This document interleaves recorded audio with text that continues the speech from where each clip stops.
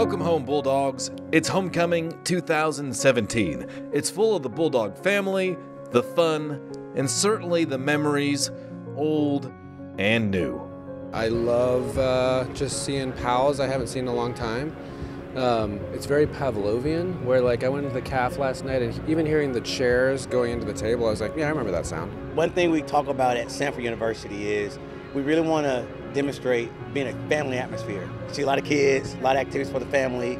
So for me, it always feels great to be back because you see familiar faces and then you also are meeting new people for the very first time. So it's a great feeling to be back.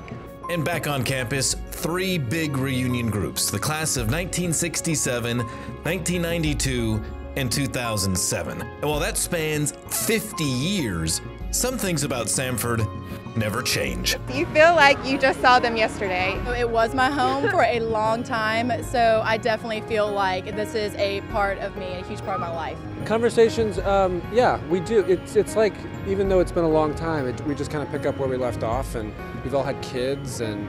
Uh, we tell stories. That's my thing. I don't have the best memory, so I love when people tell stories and I can just remember that kind of stuff. It's been fun to see, you know, the others that I haven't and see the families and the children that they have now and just reconnect. Meanwhile, at Friday night's alumni candlelight dinner, we had special Samford graduates honored with alumni and humanitarian of the year honors. Congratulations and thank you for all you do for Samford University. Samford to me is, is home. It's the first place I chose. You know, I chose to go to college here, Birmingham. I've got a lot of connections here. I was wondering at first if they had called the right person.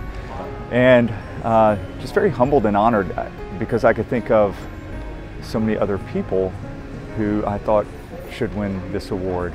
It just brought back this sense of home. Uh, it's unbelievable my four years here of growing um, spiritually, uh, emotionally, just as a young woman. Um, and to be here is just, it's so fun to have my family here to be able to show them and meet people that I've known for years and um, see this life that maybe someday they'll come to school here.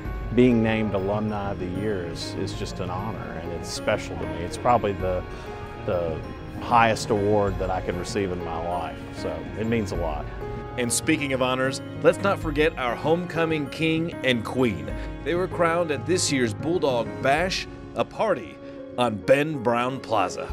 I am feeling extremely humbled for this. Didn't really know how it was going to turn out, so I'm just so grateful because Samford, me getting here was such a God thing, and I wouldn't be here without the Lord's help. So it's great to represent Samford in this way. It's just such an honor. Uh, I don't know. It's just really, uh, really neat that my peers would uh, vote for me to be the homecoming king, and I'm just really humbled uh, by all of this, and it just means the world to me. So we have royalty, reunions, Spike graduating, Sam taking over. What are we missing? Well, how about some football? Bulldog Walk starts things off. Then our football team, ranked 14th in the nation, takes care of ETSU. I think Coach Hatcher sums up the weekend perfectly. But I would especially on homecoming weekend, and there ain't nothing like